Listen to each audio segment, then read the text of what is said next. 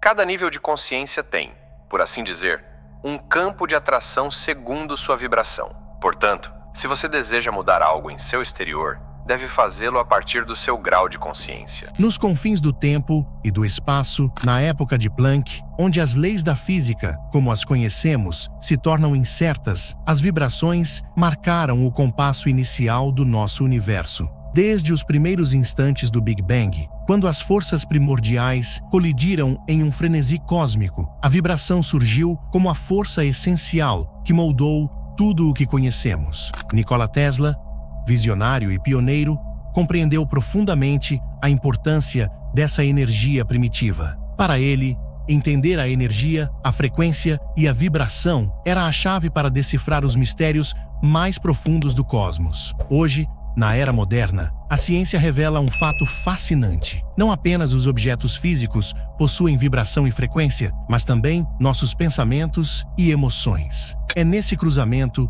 entre o material e o intangível que se encontra a chave para compreender como criamos nossa realidade. Ao mudar sua vibração base, você pode transformar sua experiência para uma realidade completamente diferente. Essa mudança não é apenas perceptual. Aprender a ajustar sua vibração pode, com o tempo, alterar sua trajetória de vida em direção a uma realidade alternativa. Para entender isso plenamente, devemos explorar os diferentes níveis de consciência e como eles influenciam nossas vibrações. Uma das primeiras ideias fundamentais que devemos entender é o conceito dos níveis de consciência, brilhantemente explorado no livro Poder versus Força, de David Hawkins, um autor cuja obra tem sido profundamente transformadora.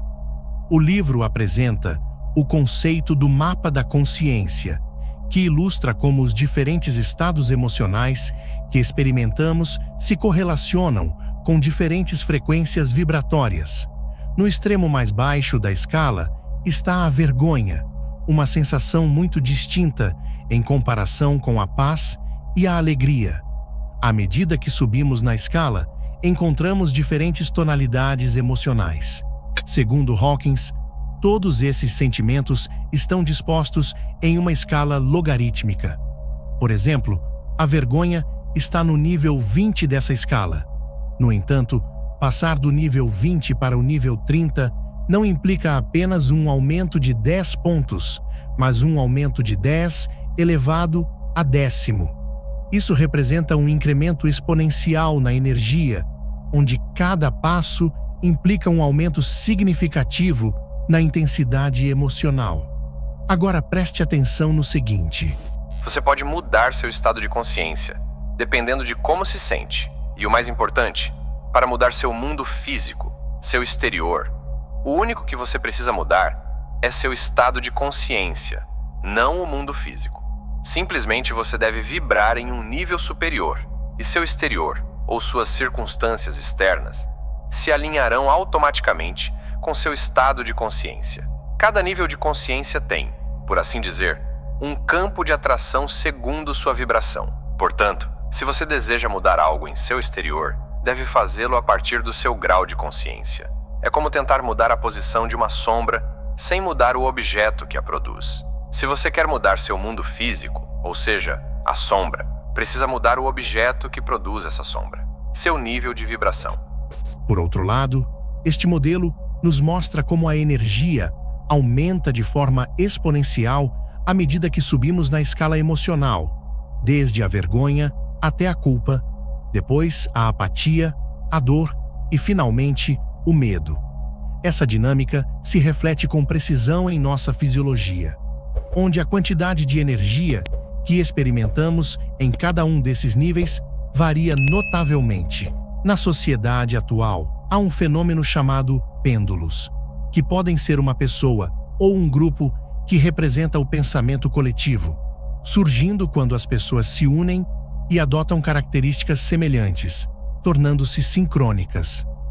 Muitas vezes, as pessoas são atraídas inconscientemente pela frequência do pêndulo, o que as impede de questionar o sistema estabelecido. Por exemplo, o sistema educacional aprisiona as pessoas em sua estrutura. e aqueles que desafiam esse sistema são rotulados como estranhos. Os pêndulos são projetados para manter as pessoas dentro do sistema e evitar que desafiem o status quo. Esses pêndulos buscam manter as pessoas sob sua influência para preservar sua energia. No âmbito humano, isso pode ser representado por um gráfico com um eixo X que indica a frequência. Neste gráfico, os níveis mais baixos de consciência, como a vergonha e a culpa, estão no extremo inferior, enquanto a iluminação está no extremo superior. Entre esses extremos, a distribuição dos níveis de consciência assume a forma de uma curva de sino. Os pêndulos tentam manter as pessoas presas dentro desse intervalo de frequência. Então, se observarmos esses grupos, veremos pessoas dispostas a defender uma ideia com suas vidas sem saber por quê, porque fazem parte de um pêndulo. A sociedade, por meio das redes sociais, das grandes corporações e dos grandes meios de comunicação, mantém você preso em uma certa energia e vibração que impede sua libertação. A informação está bem guardada para mantê-lo preso em um nível de energia que oscila entre o medo e o orgulho, logo abaixo do nível da coragem. A coragem é o nível neutro, onde você pode se libertar da influência desses pêndulos. A energia mais ressonante neste espectro é a raiva. Quando os pêndulos conseguem enfurecer, eles extraem a maior quantidade de energia de você, já que, no reino humano, a raiva parece desencadear a violência mais intensa. Qualquer emoção que experimentamos abaixo de 200 na escala de consciência pode nos levar à inconsciência e é potencialmente perigosa para nossas vidas segundo Hawkins e segundo a maioria dos autores do Novo Pensamento. Assim, se estamos em um nível baixo de depressão, culpa ou medo, nossas aparências externas são o reflexo desse estado e temos mais acontecimentos que confirmam esse estado de consciência que temos. Se vibramos em um estado de consciência mais alto, não precisamos fazer nada mais. Nossas circunstâncias se alinharão com esse estado de consciência. Para nos libertarmos desse estado e mudarmos nossa vibração base, precisamos elevar nossa consciência. Isso implica reconhecer a insensatez de dar nossa vida por simples pensamentos e crenças e trabalhar para nos elevar acima desses estados emocionais negativos. Entender isso nos permite libertar dos pêndulos e experimentar uma realidade mais alinhada com nossas verdadeiras aspirações e desejos. Precisamos, então, compreender as três chaves para a vibração. O livro The Mechanism of Surrender, de David Hawkins, explora esse processo. Muitas pessoas, ao descobrirem a importância da vibração e como elevá-la, entram em modo de resistência. Sentem emoções como medo, desejo, raiva ou orgulho e percebem essas emoções como negativas, tentando mudá-las imediatamente. No entanto, Focar-se em mudar essas emoções é render-se ao pêndulo e dar a ele nossa energia. Em vez de resistir, a chave está em permitir e aceitar o que estamos sentindo, reconhecendo que são apenas pensamentos e sentimentos que não têm poder sobre nós. A primeira chave para mudar seu estado de vibração base é aprender a deixar ir. No entanto, não se trata apenas de tentar deixar ir, pois isso pode levar diretamente à resistência. É mais eficaz pensar em deixar ir como deixar ser. Quando você aceita completamente algo que está acontecendo em sua vida e que você não gosta, sua reação imediata pode ser querer mudar ou ignorar a situação. Porém, ao fazer isso, você perde a batalha, pois está dizendo a si mesmo que aquilo não está certo e assim não se permite processar o que está surgindo. É crucial permitir que esses sentimentos venham à tona e sejam tratados de forma adequada. Existem quatro maneiras principais pelas quais lidamos com nossos sentimentos: repressão, supressão, expressão e rendição ou deixar ir. A repressão ocorre inconscientemente. quando empurramos um sentimento para o fundo porque ele é muito avassalador para ser enfrentado. Na supressão, conscientemente, empurramos o sentimento para baixo e, geralmente, recorremos a métodos escapistas, como assistir televisão, comer em excesso ou fumar, para evitar enfrentá-lo diretamente. A expressão envolve tentar liberar o sentimento de alguma forma, seja falando sobre ele, gritando com alguém ou expressando raiva de algum modo. No entanto, a maneira mais eficaz de lidar com os sentimentos é a rendição ou deixar ir. Ao simplesmente se render ao sentimento e aceitá-lo como ele é, você permite que ele exista sem resistência. Se você praticar isso por um período prolongado, sua vida passará por uma mudança profunda e significativa. Quanto mais você tenta fugir de seus sentimentos, mais os oprime e reprime. Esses sentimentos acumulados podem se manifestar de formas inesperadas e em momentos inoportunos.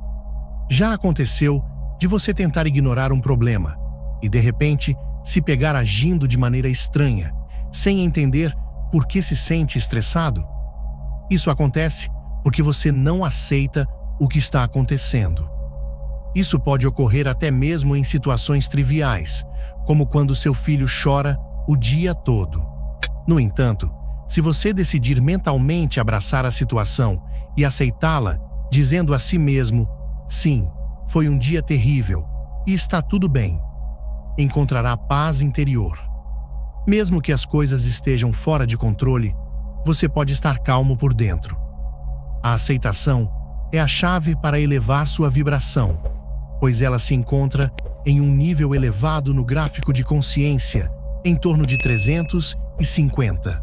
Ao entrar em um estado de aceitação, você pode se libertar de estados de consciência mais baixos e se elevar para níveis mais altos.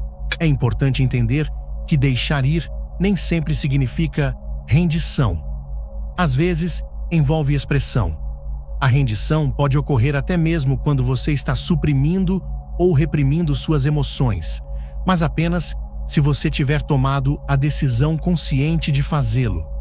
Por exemplo, se você está passando por um luto após a perda de um ente querido, pode decidir se cercar de amigos e se distrair como uma forma consciente de lidar com seus sentimentos naquele momento. A segunda chave para elevar a vibração é aprender a equilibrar esforço e rendição. Ao iniciar o caminho do desenvolvimento pessoal e da manifestação, é importante não se obcecar exclusivamente com o resultado final, mas também se comprometer com o processo e tomar ações conscientes no momento presente.